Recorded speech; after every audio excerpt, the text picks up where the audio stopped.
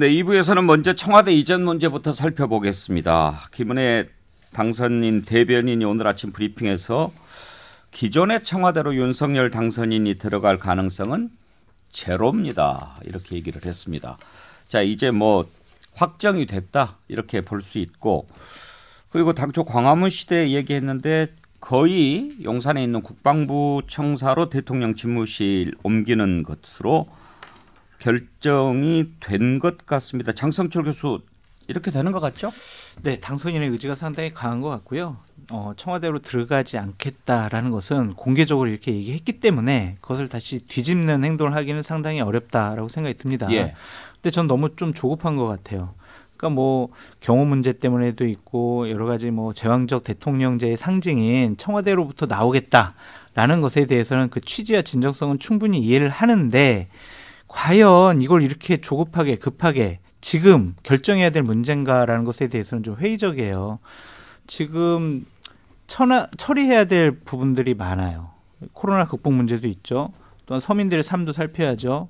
대외 관계도 지금 녹록치 않잖아요. 근데 지금 관심이 청와대 진짜 나온대? 안 나온대? 용산으로 옮긴대? 안 옮긴대? 이거에 관심이 가 있잖아요. 과연 이것이 지금 시급히 해결해야 될 주제 의제인가에 대해서는 회의적입니다. 아무래도 한번 들어가면 나오기 힘들 것 같아서 그러는 거 아닐까 싶기도 하고요. 그렇기도 한데요. 기본적으로 청와대라는 곳이 대통령만 근무하는 곳이 아니잖아요. 청와대 비서진들도 한 400명 이상 되죠. 경호 인력도 한 500명 되죠. 대통령이 집무실을 옮긴다면은 이러한 부분도 함께 해결해야 되는데 과연 그만한 공간이 있을 것이냐. 또한 용산 국방부 청사로 간다고 하면 거기는 그러면 시민들과 친근한 대통령이 될 수 있는 그럴 만한 장소인가? 이것도 좀 생각을 해봐야 예. 될것 같아요. 아까 김유정 의원께서 그런 말씀하시잖아요. 당선되면 모든 것을 다 할 수 있을 것 같다. 지금 아마 그런 마음도 있지 않을까 싶어요. 좋아, 빠르게 가. 뭐 그렇죠. 이제 역대 대통령들이 전부 다 광화문 대통령을 다 꿈꾸셨고 외쳤습니다마는 이제 결국에는 제일 중요한 게 경호 문제, 그다음에 시민 불편 문제 이런 것들 때문에 늘 좌절이 됐었어요. 그런데 이제 어느 때보다 더 강력하게 절대 글쎄 세상에 절대라는 게 있을지 모르겠습니다. 결과는 두고 봐야 될 것 같은데 절대 청와대로 들어갈 일은 없다 이러는데 이게 본말이 전도된 느낌입니다, 사실. 시민과의 소통, 좀 더 가까운 대통령, 권위주의를 타파하겠다. 이제 이게 사실 목적이었는데 청와대만 들어가면 이제 좀 달라지는 모습, 또 화합하지 못하고 국민 통합 안 되고 이런 모습 절대 하지 않겠다라는 각오 이자 다짐인 것인데 지금 여기에 몰두하는 사이에 윤핵관들은 지금 이렇게 일을 지금 벌이고 있잖아요. 그래서 뭐가 이 본말이 전도된 게 아닌가 생각하고요. 저는 상징적 의미에서 청와대가 갖고 있는 그런 그 권위나 어떤 제왕적 대통령제의 폐해를 타파하겠다는 의지는 좋지만 예. 부차적인 것이 아닌가 생각하고요. 정 못하면 어 빨리 또그 이 변경된 거를 국민에게 솔직히 고백하는 것도 저는 예, 좋은 방법이라고 예. 생각합니다. 그래서 청와대를 사용해서 조금 시설을 바꾸는 그런 방법도 저는 대안이라고 생각하고요. 저는 조금 생각이 다른 게 네. 이게 단순한 상징적 의미가 있는 게 아니에요. 이거는 어, 정말 5년 전에 문재인 대통령이 못한 이유도 있겠지만 그걸 알면서도 어, 윤석열 당선인이 또 공약을 내걸고 1호 사업이라고 이야기할 때는 그만큼의 의미부를 하는 거다. 그러면 신임 대통령이 청와대 안 들어가겠다. 그것도 가능성 제로라고 이야기하면 당연히 안 들어가는 거예요. 근데 찾아보니까 서울 종합청사는 보니까 결국은 제가 원래 가장 큰 지하 벙커 문제였을 거예요. 예. 그러니까 다시 말하면은 청와대 지하에 있는 그 부분 국정상황실 그 벙커를 도대체 정부 종합청사로 옮기기는 뭐하다 뭐 그 설진하겠지만 그러 놓으니까 막 차정계 국방부 갔다. 그럼 이거는 미룰 문제가 아니고 적어도 리모델링에도 한 달 이상 걸리기 때문에 빨리 하는 게 맞다. 그리고 이건 상징적 의미 플러스 현실적인 의미도 있는 거예요. 그러니까 청와대도 30% 줄이고 수석 비서관도 다 없애고 민관 합동위원회 체제로 가겠다. 다시 말하면 지금까지 국정을 완전히 만기 칠람하다시피 하면서 수석 비서관을 통해서 각 정부를 통제하던 대통령이 사라지고 내각의 자율성을 존중해서 장관들에게 책임도 주고 권한, 권한도 주고 책임도 묻겠다는 그런 의지로 가겠다는 것이기 때문에 단순한 그 쉽게 볼, 볼 문제는 예. 아니에요. 뭐 윤석열 당선인이 그런 얘기를 했죠. 경호 보안 문제 이런 거 있는데 그런 것이 일을 따라와야지 라면서 일 우선을 강조했습니다. 상당히 이제 실용주의 적인 사고다 이렇게 볼 수가 있는데 지금 인사한 것도 보면 상당히 실용주의에 가까워요. 임태희 전 실장, 김영환 전 장관, 이동관 전 청와대 공보수석이죠. 이 세 사람을 특별 고문으로 임명했습니다. 그리고 강석훈, 김현숙 정책특보, 장성민 정무특보 이렇게 또 임명을 했는데 아까 김유정 의원께서 MB 시즌 2 그랬는데 정기남 교수 MB 때 사람들이 많이 보이네요. 음, 그렇습니다. 뭐 김유정 의원 생각이 저는 동의하고요. 그 특히 외교안보 분과 같은 경우는 사실상 뭐 거의 대부분이 다 모두 MB 정부 출신이더라고요. 어, 그 이런 것들이 어떤 그 국정 운영의 어떤 중심축이 너무 한쪽으로 일방적으로 가지 않을까. 특히 외교안보가 굉장히 중요한 영역일 텐데. 그리고 어, 좀 우려스러운 부분들은 당선인 주변의 어떤 당선인이 처음 정치를 시작할 때 인맥들, 이른바 아, 윤핵관이라고도 표현할 수 있겠고요. 이런 사람들이 대다수 친이계, 아, 친 MB계 출신이 어, 였다는 데서 아마 그런 영향을 받고 있는 것 아닌가. 아, 그리고 좀 아쉬운 점은 어, 언론에서도 지적하고 있습니다만 그렇게 선거운동 과정에서 청년 청년 주장하더니 인수위에 청년은 없어요. 음. 지금 아직은 현재까지 뭐다 2030은 끝났으니까. 0명이라 그러더라고요. 현재까지는 예, 0명입니다. 예. 별도 기구도 없고 또 뭐 실무 인력으로 그 비판했더니 뭐 실무 인력으로 뭐 보완하면 될 거다 이런 정도 얘기한다고 그러는데 좀 지켜볼 일이고요. 앞서 그 청와대 이전 문제 관련해서 한 말씀만 좀 보태고 싶은데 이게 핵심은 결국은 하드웨어와 소프트웨어가 있잖아요. 제왕적 대통령제를 상징하는 하드웨어가 결국은 청와대라고 한다면 저는 이전하겠다라고 하는 그 방향은 맞다. 근데 원래 방향의 취지가 뭐였느냐? 결국은 시민과의 소통이었거든요. 장소의 편의성이 아니라. 근데 왠지 장소의 편의성으로 다시 되돌아가고 있는 것 같아서 좀 어, 우려스러운 대목이 있다. 예. 그리고 초점을 맞춰야 할 부분은 결국 소프트웨어인데 청와대 정부라는 소리가 더 이상 나와서는 안 되겠다. 여기에 더 올- 오히려 좀 심혈을 기울일 필요가 있는 것 아닌가. 뭐 그런 정도 의견입니다. 네, 자 청와대 이전 일단은 뭐 확실시 되는 것 같고 국방부로 갔을 때 문제 뭐 잘 풀어야 되는 수밖에는 없어 보입니다. 뭐 광화문 시대가 아니고 뭐 용산 시대에 상관은 없는데 청와대는 절대 들어가지 않겠다. 또 그렇게 읽히는 대목입니다. 자 민주당 얘기 좀 잠깐 해보죠. 김유정 의원 지금 윤호중 비상대책위원회 위원장 체제로 그냥 간다 하는 것을 놓고 내부에서 이런저런 얘기가 나옵니다. 어제 우리 김두관 의원과 이렇게 인터뷰를 했는데 네. 김두관 의원 얘기는 그런 거더라고요. 이재명으로 가야 된다가 아니고 대선 패배 책임을 진 원내 지도부가 다 사퇴하는데 새로 원내대표를 뽑으면 그러면 그 사람한테 비대위원장을 맡기면 몰라도 어떻게 윤호중 원내대표는 대선 패배 책임에서 자유로울 수 있느냐.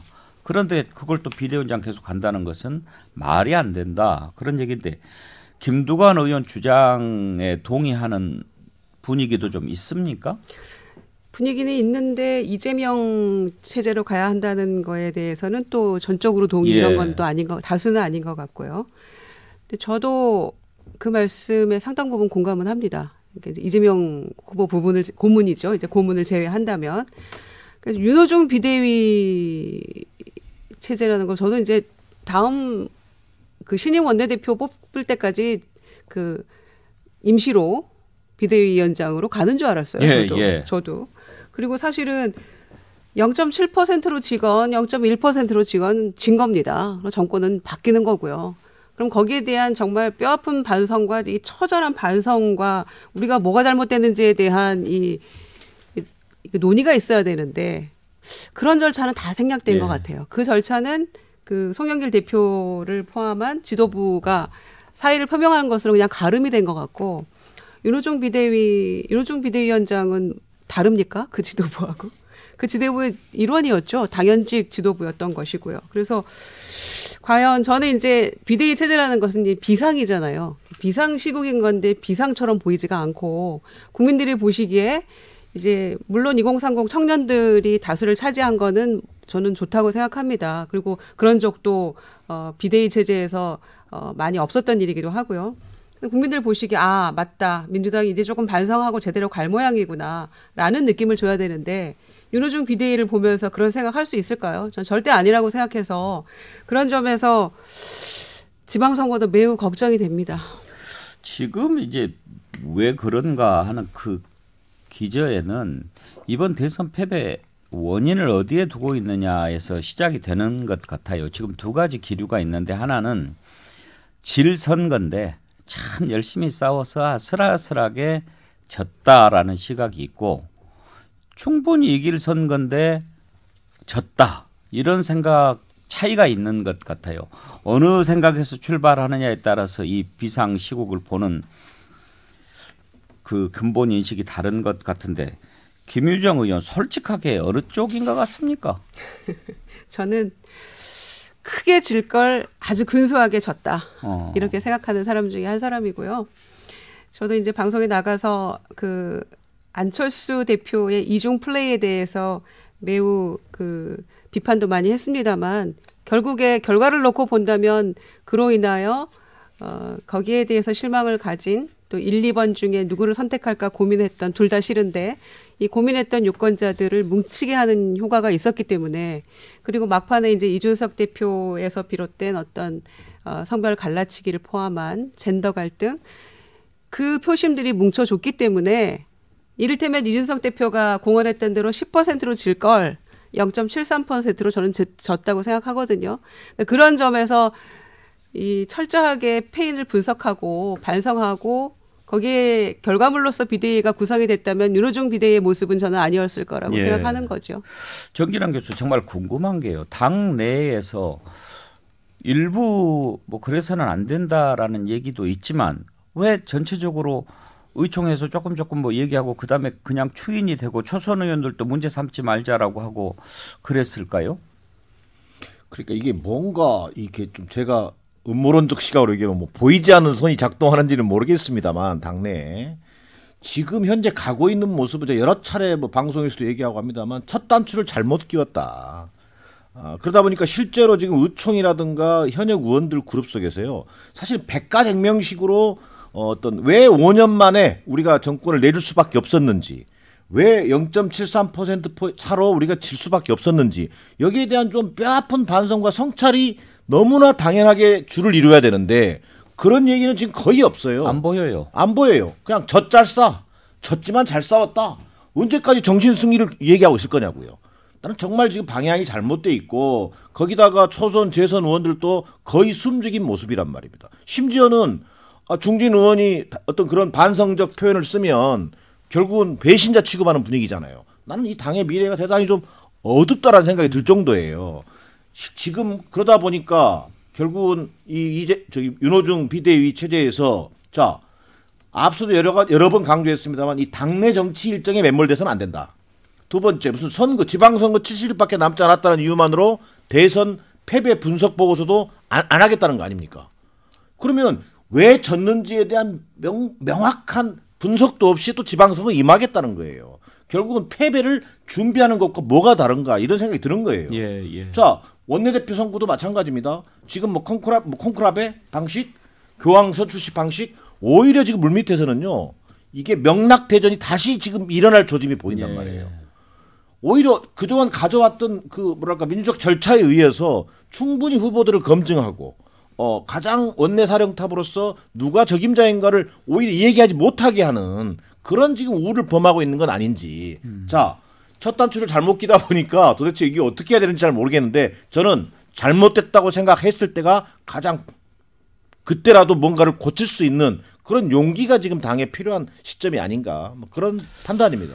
정연남 교수 지금 민주당의 더 좋은 미래라는 의원들 모임이 있나 봐요. 네. 86 그룹 출신이래요. 80년대 학번 60년대생. 이 더 좋은 미래가 오늘 윤호중 비상대책위원장 사퇴할 것을 요구하기로 했다는 속보가 떴는데 몇 명이나 됩니까 혹시? 이게 한 45명도에서 어. 50명 정도 되는데요. 이른바 이제 586 그 2대 86 그룹이라고 보면 되죠. 전대협 운동권 세력들도 있고 또 저- 개파적으로 보면 어, 친문 성향을 보이고 있긴 합니다만 어쨌든 초대선 의원들이 그런 목소리를 개별 목소리가 아니라 의원들의 어떤 그 단합된 어떤 목소리로 얘기를 해줘야 됩니다. 그럴 때만 이 당이 뭔가 방향을 새롭게 고쳐 잡을 수 있는 그런 저는 역할이란 측면에서는 그 내용에 대한 동의를 떠나서 더부 더 더민 더민초인가요? 이 더민 더더 더미래. 더미래가 더민초도 있고 더미래도 있는데 예, 더민초는 추인을 했잖아요. 네네네. 근데 그 뭔가 어떤 당내 재선 의원들 정도의 역할을 지금 제대로 저는 하고 있는 것이다. 아, 저는 뭐 충정으로 받아들입니다. 이 사태의 심각성을 반증하는 모습이 예. 민주당 보좌진 협의회에서 반대 성명을 낸 겁니다. 네. 그러니까 보좌진들 이야기가 그래요. 우리가 웬만하면 성명 안 내는데 성명 냈다고 얘기하면 그렇죠. 그 정도면 분위기가 어떤지 뭐 음. 예, 충분히 상상할 수 있을 거고요. 또 한 가지는 윤호중 원내대표 자체가 어떻게 이걸 받을 수 있냐는 겁니다. 저는 예. 저 지금 그거 좀 물어보려고 그랬어요. 안 하겠다고 해야 되는 거 아닙니까?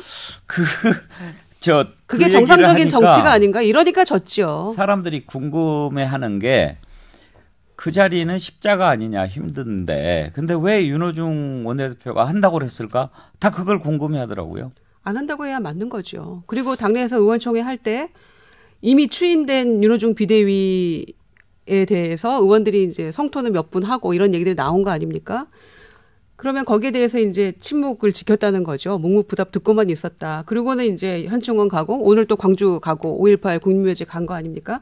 그리고 잘하겠다고 하고 이렇게 얘기했는데 자, 민주당이 잘하는 거는 윤호중 비대위원장이 물러나는 길이죠. 그리고 다른 누군가 신선한 인물로 민주당이 진짜 변화하고 있다는 것을 국민들이 믿지 않으셔도 형식적으로라도 조금 보여주는 그런 액션이라도 있어야지 당의 미래가 있는 거 아니겠습니까? 그래서 왜 이걸 본인이 받아들였을까요? 정말 저도 묻고 싶어요. 장성철 교수 보시기에는 윤호중 원내대표가 왜 받아들였을까. 개파의 대리인이죠. 본인의 뜻과 의지가 아니라 이해찬, 그 다음에 이재명 상임 고문 그 분들의 대리인이라고 저는 볼 수밖에 없습니다. 그분들이 야 우리는 좀 뒤로 물러나 있을 테니까 당신이 좀 당을 좀 장악을 하고 지방선거 공천도 하고 우리 기득권을 헤게모니를 계속 유지하도록 당시 좀 고생 좀 해라. 그런 다음에 8월 달 있을 전당대회에서 우리가 다시 한번 당권 잡자. 이런 식의 계획을 세운 것이 아닌가라는 생각이 듭니다. 비대위원회를 왜 합니까? 당의 얼굴이 바뀌었습니다. 국민 여러분, 저희들한테 관심 좀 가져주세요. 저희들한테 기대를 저버리지 말아주세요. 라고 하는 차원에서 비대위를 하는 건데, 똑같은 얼- 얼굴, 그리고 선거에 책임 있는 분이 맡겠다라고 하는 것은 그것 자체로 국민들의 관심을 끌 수가 없다. 그런 비판이 나오니까 박지현 씨라는 분을 모셔다가 공동 비여, 비대위원장을 삼음으로써 면피하려고 그러는 거 아니겠습니까? 그런 시도조차 전 잘못했다고 보여지고요. 건물이 좀 낡았어요. 그래서 도저히 사용할 수가 없습니다. 그럼 두 가지 방법이 있죠. 리모델링 하느냐, 재건축 하느냐. 국민, 국민의힘이요. 지난 탄핵 이후에 계속 리모델링 하려다가 국민들의 선택을 받지 못해가지고 완전히 재건축을 한 거예요. 그냥 정말 국민의 힘을 완전히 붕괴시켰던 가장 앞장서서 붕괴시켰던 분을 대통령 후보로 선출해서 정권을 가져왔습니다. 이 정도의 파격적인 생각을 하지 않고 그냥 단순히 우리끼리 우리 개파에서 얼굴만 조금 바꿔서 기득권을 유지하겠다. 국민들 선택받기 어려울 것으로 보여집니다. 신상 보면 남해당 얘기지만 한번 어떻게 보시는지요? 우선 24.7% 24만 7천 표에 매몰됐구나 그 논리에 로직에 그 느낌이 무슨 말이냐면은 이 지자청들을 끌이 지자청만 끌고 가면 유지해서 가면 6월 지방선거까지는 우리가 진다 치자 예를 들어서 민주당에서 뭐 어렵다 치고 그 2024년 때부터는 다시 자기들이 굉장히 살아날 것이라는 저는 착각을 하고 있는 것으로 보여져요. 근데 그게 굉장히 좀 정태적인 게 그럼 이 정부는 가만히 있느냐? 윤석열 정부와 국민의힘은 국민의힘이 지금 아시는 대로 호남을 굉장히 두드리고 있는 거 아니에요. 김한길, 김병준 보십시오. 이용호 의원. 그다음에 뭐 박주선 이런 분들 장성민도 들어가요. 어, 장성민 들어가고 이런 일련의 흐름 자체가 중도와 특히 호남 쪽으로 가서 넘어갈 텐데 그걸 그래서 이제 이, 이 표, 그렇게 24만 표를 제외한 이 나머지와 2030 여성들, 2030 남, 남자와 이준석에 분노했다는 이 사람들만 붙잡고 가면 다음 길은 열린다라는 막연한 믿음을 갖고 간다는 분위 느낌을 저는 받아요. 예. 그러니까 졌지 이런 말을 들어서는 안 되잖아요. 그렇죠. 0.7%가 반성과 어떤 새로 그 거듭나는 계기가 돼야 되는데 독이 되고 있는 거 아닌가 싶어서 저는 굉장히 걱정스럽습니다. 예. 제가 사랑하는 민주당인데. 그 저는 재건축하시라라고 좀 건의를 드리고 싶고 또 하나 건의 드리고 싶은 거는 박지원 공동위원장이 그분의 삶의 궤적이 나이가 어려서 아이 비대위원장 맡긴 너무 뭐 적당하지 않아 예. 그런 평가 내리는 것은 잘못됐다고 봐요. 하지만 정치를 해보지 않으신 분이잖아요. 그러니까 당에서 정말 잘 보좌하지 않으면 그분이 각종 인터뷰에 나가서 하는 말들이 민주당에게 상당히 어려움을 처할 수가 있게 될 것 같아요. 그래서 좀 관리를 잘하셨으면 좋겠다는 생각이 듭니다. 저는 그 박지원 공동 비대위원장인가요? 네. 그말 중에 좀 제일 노- 놀랐던 게 내가 뭐 비록 저기 경험은 없지만 사선 오선 못지 않다고 생각한다 그 말을 했는데 좀 놀라웠어요. 저는 이게 그 정치권에서요 비대위 체제 때마다 그 젊은 여성 또는 뭐 젊은 청년들을 뭐 비대위원이라고 하는 형식으로 어 결국은 모셔놓고 결국 망가뜨리고 이게 결국은 현실 정치의 모습이었거든요. 어 정말 정치라고 하는 것을 뭐 고고한 영역이 아니라 어떻게 보면 현실의 영역이라는 것을 좀착 그 착근을 착좀 뭐랄까 포인트를 좀 가지고 볼 예. 필요가 있다. 저는 그 박지원 비대위원장이 잘 해내리라고 기대는 하지만 또 이 현실 정치의 벽을 넘기가 쉽지 않은 굉장히 어려운 과제가 있을 거라고 봐요. 그래서 나는 좀 전에 장성 뭐장 교수처럼 지적처럼 오히려 당이 잘 보호해야 될 거예요. 근데 결국은 보호에 지금 우리가 신경 쓸 때냐는 거예요. 그분들이 원 없이 뛸 수 있도록 역할을 하게 하되 지금 필요한 것은 질서 있는 수습이 아니라 정말 이 근본적인 어떤 그 쇄신과 변화를 일궈내기 위한 노력이어야 될 텐데 비대위가 지방선거 준비하고 공천권이나 지금 계파 간의 어떤 안배하고 이런 모습으로 비치면요. 저는 이번 지방선거 결과뿐만 아니라 다음 총선까지 총선의 미래까지도 어둡게 한다는 점에서 정말 리모델링도 아니고 저는 좀 전문 용어로 어, 재건축보다는 restructuring 완전히 구조와 또 내용을 바꾸는 그런 작업이 지금 필요한 때다. 거기에 박지원 공동 비대위원장의 역할이 있다면 그 쓰임새 정도만 역할하도록 하는 것이 맞다고 보여집니다. 재건축은 있는 자리에 다시 짓는 거잖아요. 네. 아예 털을 옮기는 것까지도 생각을 이미 해야 당사를 다 되잖아요. 사버려가지고요. 그래서 저는 사실은 비대위원 들어가 있는 분이지만 조홍천 의원이나 예. 아니면 그 가장 그 혁신적인 후보였던 박용진 후보 같은 그런 분이 비대위원장을 맡고 그리고 6월 지방선거 결과가 어떻게 나오든지 간에 조기 전당대회로 가서 당을 좀 수습하는 그게 가장 좋은 해법이 아니었나 저는 그렇게 생각을 했었는데 전혀 다른 방향으로 가고 있는 것이 좀 당황스럽기도 하고요. 안타깝기도 하고 그렇습니다.